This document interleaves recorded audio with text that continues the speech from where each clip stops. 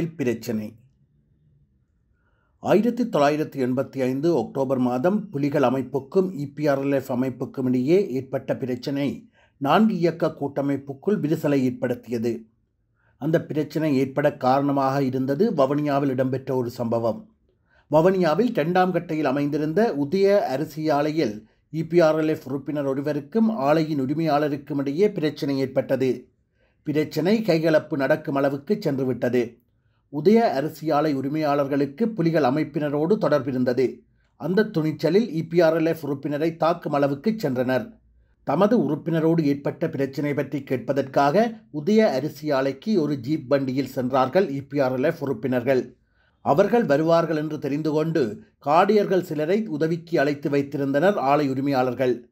உதய அரிசி ஆலை உரிமையாளரின் மகன் இபிஆர்எல்எஃப் இயக்கத்தில் இராணுவ பயிற்சி எடுத்தவர். பின்னர் இயக்கத்தின் அனுமதி இல்லாமல் வீட்டுக்கு சென்று தலைமறைவாக இருந்தார். ஜீப்பில் சென்று இபிஆர்எல்எஃப் உறுப்பினர்கள் இறங்கிய போது அரிசி ஆலைக்காரர்கள் முந்திக் கொண்டார்கள். ஜீப்பை சுற்றி வளைத்து தடிகளாலும் இரும்பு கம்பிகளாலும் தாக்கத் தொடங்கிவிட்டார்கள் ஜீப் நொறுங்கி போனது. இபிஆர்எல்எஃப் உறுப்பினர்களுக்கு காயம். தாக்குதலை நடத்திய கோஷ்டியில் முன்னணியில் நின்றவர் ஆலை உரிமையாளரின் மகன். இபிஆர்எல்எஃப் அமைப்பு அவருக்கு கொடுத்த பயிற்சியை அவர் திருப்பிக் கொடுத்து விட்டார். மாத்தையாவின் கசப்பு. வவனியாவுக்கு இபிஆர்எல்எஃப் இராணுவ தளபதியாக இருந்தவர் ரேகன். ஆயிரத்தி தொள்ளாயிரத்தி எண்பத்தி நான்காம் ஆண்டு பாலஸ்தீன மக்கள் விடுதலை முன்னணியிடம் பயிற்சி பெற்றவர்களில் ஒருவர் ரேகன். ஆயிரத்தி தொள்ளாயிரத்தி எண்பத்தி ஐந்து முதல் வவனியா இபிஆர்எல்எஃப் இராணுவ தளபதியாக பொறுப்பேற்றார். சொந்த பெயர் நல்லதம்பி இன்பராசா. வன்னி பிராந்தியத்திற்கான புலிகளது தளபதியாக அப்போதிருந்தவர் மாத்தையா வவனியாவுக்கு பொறுப்பாக இருந்த ரேகன் மீது மாத்தையாவுக்கு புகைச்சல்.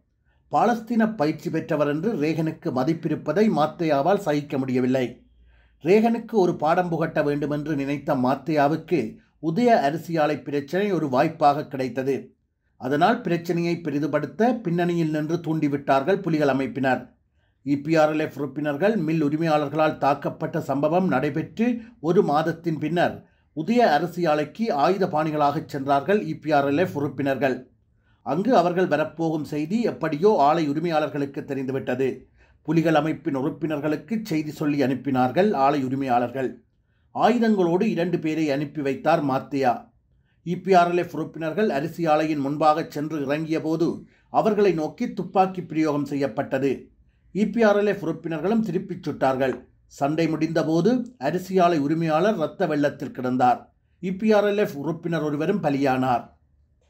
கிட்டு மாத்தியா அப்போது இபிஆர்எல்எஃப் இராணுவ பிரிவான மக்கள் விடுதலைப் படையின் பிரதம தளபதி டக்ளஸ் தேவானந்தா யாழ்ப்பாணத்தில் இருந்தார். புலிகளின் யாழ் மாவட்ட தளபதி கிட்டுவையும் புலிகளின் யாழ் மாவட்ட அரசியல் பிரிவு பொறுப்பாளர் திலீபனையும் சந்தித்து வவனியா பிரச்சினை பற்றி பேசினார் டக்ளஸ் தேவானந்தா. அந்த காலகட்டத்தில் மாத்தையாவுக்கும் கிட்டுவுக்கும் இடையே பனிப்போர் நடந்து கொண்டிருந்தது. கிட்டுவை விட மாத்தையா இயக்கத்தில் மூத்தவர். ஆனாலும் கிட்டு மலமளவென்று பிரபலம் பெற்றுவிட்டார். கிட்டு தலைமை தாங்கி நடத்திய தாக்குதல்கள் வெற்றியாக முடிந்தமையால் புலிகள் இயக்கத்திற்குள்ளும் கிட்டுவுக்கு தனி செல்வாக்கு ஏற்படத் தொடங்கியது. இந்திய அரசு வழங்கும் ஆயுதங்களை பிரபாகரன் யாழ்ப்பாணத்திற்கு அனுப்பி வைப்பார். அவற்றில் தரமான ஆயுதங்களையும் யாழ்ப்பாணத்துக்கு என்று கூடிய எண்ணிக்கையிலும் ஆயுதங்களை எடுத்துக்கொண்டு மீதிய ஏனைய பிராந்தியங்களுக்கு கிட்டு பயந்து கொடுத்து விடுவார். அதனால் ஏனைய பிராந்தியங்களுக்கு போதிய ஆயுதங்கள் கிடைப்பதில்லை என்று மாத்தைய அணியினர் சொல்லிக் கொண்டிருந்தனர். யாழ் பிராந்தியம் பூரண கட்டுப்பாட்டில் இருந்தமையினால் ஏனைய பிராந்தியங்களை விட அதிக நிதி திரட்டக்கூடிய வசதி கிட்டுவுக்கு இருந்தது நிதியில் ஒரு பகுதியை கேட்டு பார்த்தார் மாத்தியா கிட்டு கொடுப்பதாக இல்லை. உடனே காரியத்தில் இறங்கினார். யாழ்ப்பாணத்திலிருந்து கொழும்பு சென்று பொருட்களோடு திரும்பும் யாழ்ப்பாண வர்த்தகர்களது லொரிகள் வன்னி பகுதியில் மாத்தையா அணியினரால் தடுக்கப்பட்டன. பணம் தந்தால்தான் லொரிகள் மேற்கொண்டு செல்ல முடியும் என்று கூறிவிட்டார்கள். நாங்கள் யாழ்ப்பாணத்தில் உங்கள் இயக்கத்திற்கு நிதி கொடுத்திருக்கின்றோம் என்று லொரி உரிமையாளர்கள் சொல்வார்கள். அதை கிட்டரிடம் பேசிக்கொள்ளுங்கள். இது வன்னி பகுதி பணம் தராவிட்டால் லொரியை விடமாட்டோம் என்று சொல்லிவிடுவார்கள் மாத்தையாணியினர் ஒரே இயக்கத்திடம் இரண்டு பகுதிகளில் பணம் கொடுக்க வேண்டிய நிலைமை லொரி உரிமையாளர்களுக்கு. இவ்வாறு யாழ்ப்பாண பிராந்திய வன்னி பிராந்திய புலிகளின் அணிகளுக்கிடையே திரைமறைவு பூசல்கள் நடந்து கொண்டிருந்தன. இந்த நேரத்தில் தான் இபிஆர்எல்எஃப் அமைப்பிற்கும் புலிகள் அமைப்புக்கும் இடையில் வன்னி பகுதியில் மோதல் வெடிக்கத் தொடங்கியிருந்தது.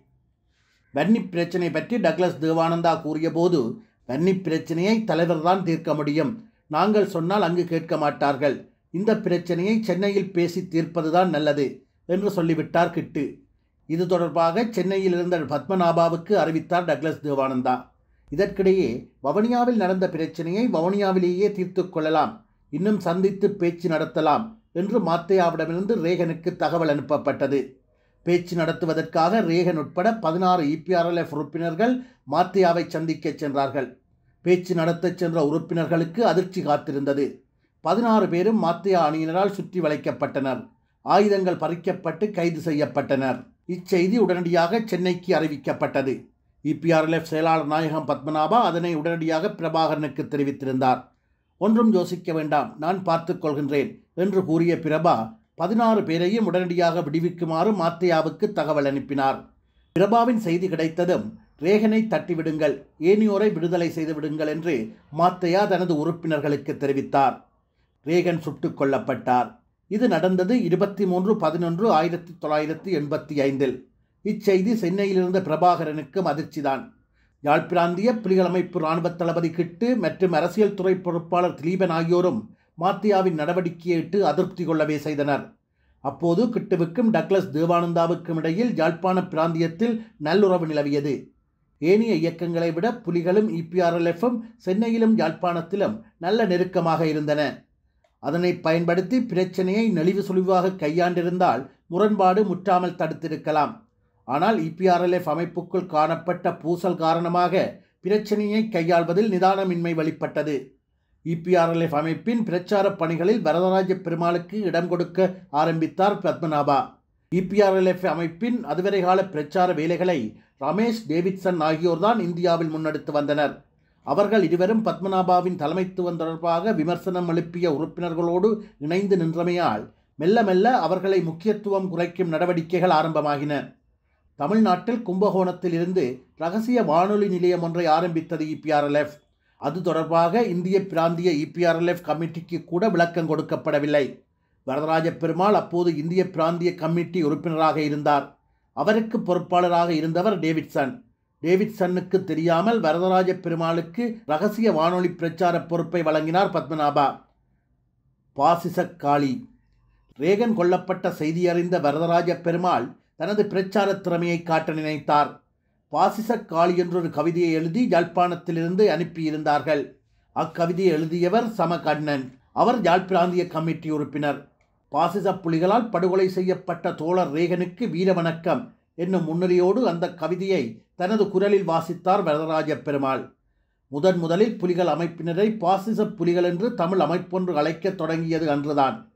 வானொலியை கேட்ட இபிஆர்எல்எஃப் இந்திய பிராந்திய கமிட்டி உறுப்பினர்களுக்கு அதிர்ச்சி. புலிகள் பாசிஸ்டுகள் என்ற முடிவுக்கு நாம் வந்தால் அவர்களோடு நான்கு இயக்க கூட்டமைப்பில் இருக்க முடியாது. பாசிஸ்டுகளோடு ஐக்கிய முன்னணியில் இணைந்து செயற்படுவது என்பது கேலிக்குரிய அரசியல் தந்திரமாகிவிடும். ரேகன் கொல்லப்பட்டது வன்மையாக கண்டிக்கப்பட வேண்டிய விடயம். ஆனால் அந்த நடவடிக்கைக்காக ஒட்டுமொத்தமாகவே புலிகளை பாசிஸ்டுகள் என்று குற்றம் சாட்டலாமா? ஆமெனில் புலிகள் எதிர்க்கப்பட வேண்டியவர்கள் என்று அர்த்தமாகிறது.